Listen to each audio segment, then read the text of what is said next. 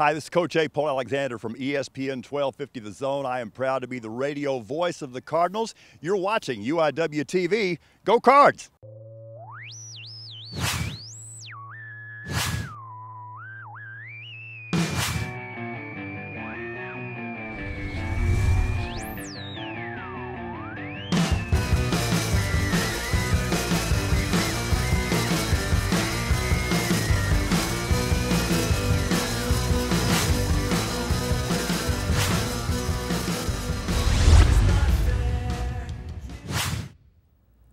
And welcome to the first ever edition of the Cardinal Rewind. I am Taina Maya.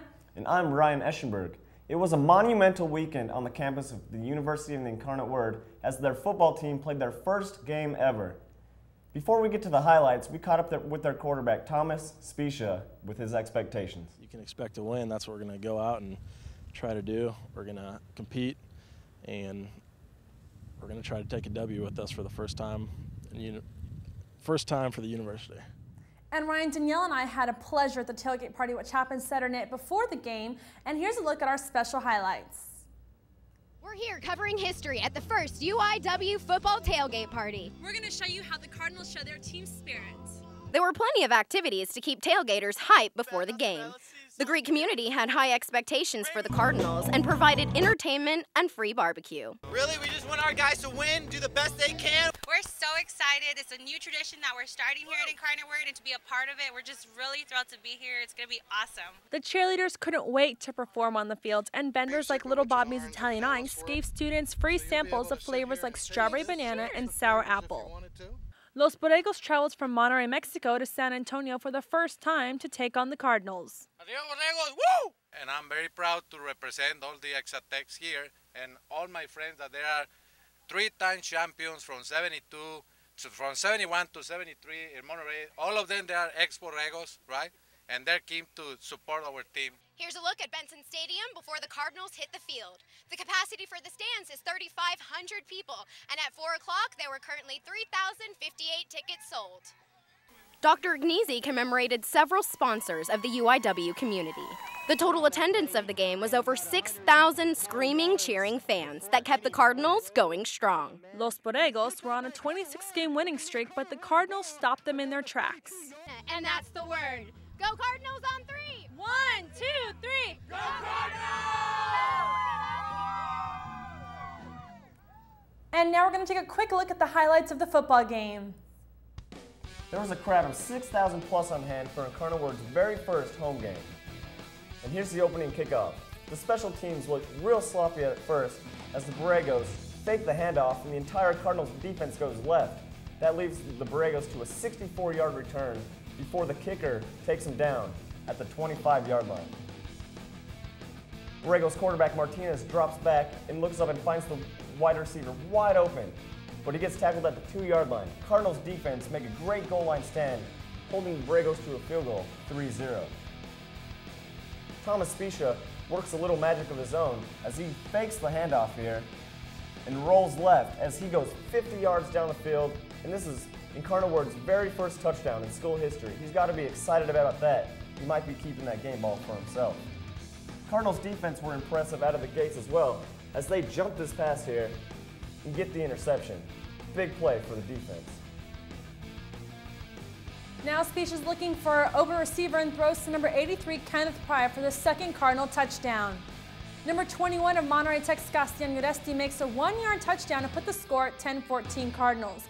It's first and goal now, and Mon- Monterrey Tech Reyes makes another one-yard run. Here comes a snap, and Specia going deep to Wallace, who's wide open in the end zone for a touchdown. Cardinals make it 21-17. Peyton Lynch makes a one-yard run late in the second quarter right here. With 35 seconds left in the third, Specia comes back again to make another touchdown for the Cardinals. Monterrey Tech's Castian makes a comeback with another touchdown early in the fourth, but still Cardinals have the lead with 35-24. Specia makes a 36-yard throw while Monterrey Tech tries to put pressure on the Cardinals, but it's caught by Wallace for a touchdown. Monterrey Tech's Castian makes a 92 yard kickoff return, and he's dodging the Cardinals but keeps up the speed and makes a touchdown for the Borregos.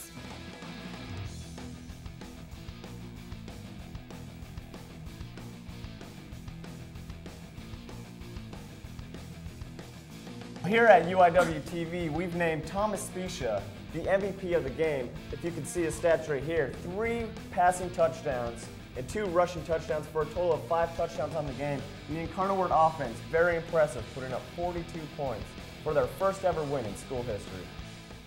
And football wasn't the only sport going on in Benson Stadium this past weekend. The women's soccer team had a Sunday, Sunday afternoon game against Texas Women's University.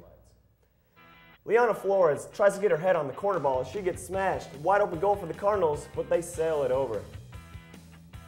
Cardinals had more chances early in the first half as Sarah Hernandez puts a ball towards the corner, but the goalkeeper makes a great save. Late in the first half, TWU had their chances as they sail a free kick right over and hits the post, the wrong post. But they get a goal just after that as they lead at halftime 1-0. The women's soccer team came back in the second half and getting two goals late in the last two minutes of, or in the last 10 minutes of the game, sorry, to win 2 to 1. That brings their record to 4 0 and 1 on the year. And they are currently ranked 6th in the nation. Now we're going to take a quick look at men's soccer with Ryan. Incarnate Word, fresh off a big win against the number 5 team in the nation last week, was playing in torrential rain against Rollins University out of Florida. UIW had a lot of early chances as Carlos Gonzalez sails a shot just wide. Cardinals' Dustin Lemley goes up for the header, but he is called back, no goal, as he put his hip right into the keeper, and it's a foul. Our very own Ryan Eschenberg preserves the goal from being shut out with a great save. This game had to go into overtime, and Cardinals got the first great look in overtime as Tom Muriel puts in a great ball in the box, but Tony Reyes just cannot get his head on the ball. That would have won the game. But definitely the best chance in the game was for Rollins as they put a header right off the post. That would have won the game for them, but it was a low offensive game, the game ending 0-0. That moves Cardinals to 2-0-1 on the year, and they are currently ranked 9th in the nation. Rollins, with that tie, go to 2-0-1. And the ladies played a couple games of volleyball this weekend. Let's take a quick look at their stats. They played Midwestern State for a win of 3 over 2, which puts them at 7 and 2 overall. And Edie Weiss had 17 kills and 4 blocks for the game's highlights. And that was a great week of sports on campus. Be sure to tune into the live streaming video of the football game on uiwtv.org.